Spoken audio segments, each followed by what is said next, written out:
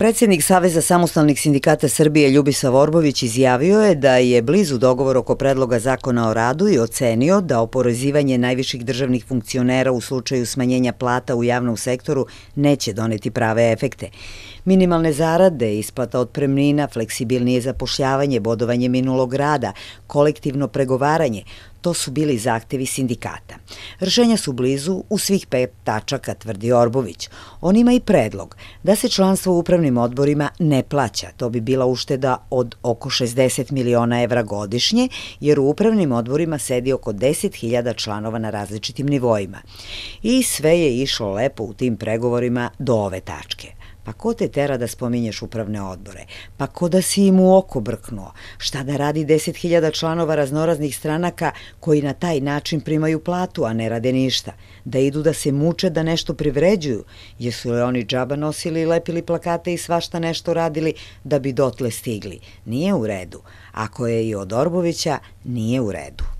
Bez obzira na to što dodatno oporezivanje visokih funkcionera koje predlaže budući premijer Aleksandar Vučić prema Orboviću ne bi donelo veliku dobit, treba ga uvesti, jer su zarade pojedinaca nepristojno visoke, kaže Vučić, što je tačno.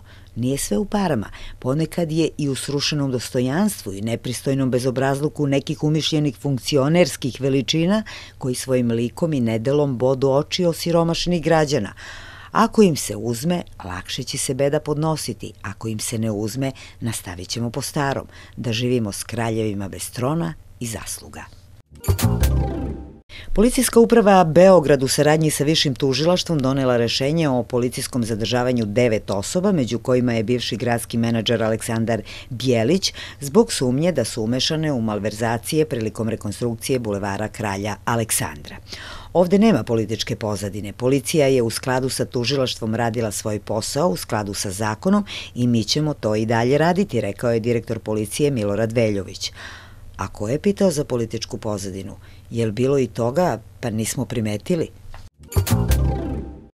Odlukom Višeg suda u Beogradu rehabilitovana kraljica Marija Karađorđević, a ukaz iz 1947. godine kojim joj je oduzeto državljanstvo i konfiskovana imovina proglašen je ništavnim u delu koji se odnosi na kraljicu Mariju. Iako iz bogate rumunske porodice, kraljica Marija je umrla kao veoma siromašna. Od svog bogatog miraza u Srbiji i kraljevini Jugoslaviji podigla je mnoge objekte, a umrla prodavajući porodični nakit. Na ovim našim srpskim prostorima to je naprosto tradicija, da budeš bogat, slavan, poznat, poštovan, čak i omiljen, ali obavezno moraš da umreš kao siromah i u bedi. Mi tradiciju poštujemo, pa nismo omanuli ni kod kraljice Marije Karađorđević.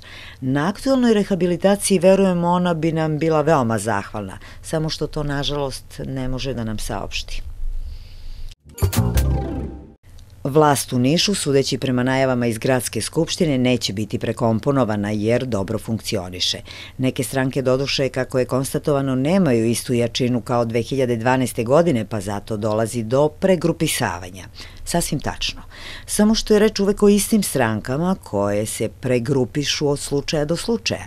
Čim ostanu bez jačine u političkim turbulencijama, one se pregrupišu pa dobiju jačinu. Do sledeće prilike. Lično mislim da one ipak imaju jačinu, jačinu nadmudrivanja onih koji su stvarno stranke. Centar za devojke danas obeležava 16 godina postojanja. Aktivistkinje će ispred Kalče u 13 sati držati transparente kojima žele da osnaže pripadnice lepšeg pola. Iskreno, nisam znala da postoji centar za devojke pored onih silnih centara za žene. I svi oni to osnažuju žene. Sviđa mi se ta reč, osnaživanje. Baš se nekako snažno osjećam posle izgovaranja te reči. I bolje, i zadovoljnije. I ne znam šta bih dalje mogla da kažem. U svakom slučaju, puno su nam od koristi, nama ženama, ti ženski centri. Po ostalom vidi se i osjeća. Treba ih podržati da nastave sa osnaživanjem svega što je žensko. Što se mene tiče, hvala. Osnažila sam se. Baš mi je dovoljno. Žene uglavnom slabije posluju od muškaraca, kažu, a i život to dokazuje. A znate li zašto?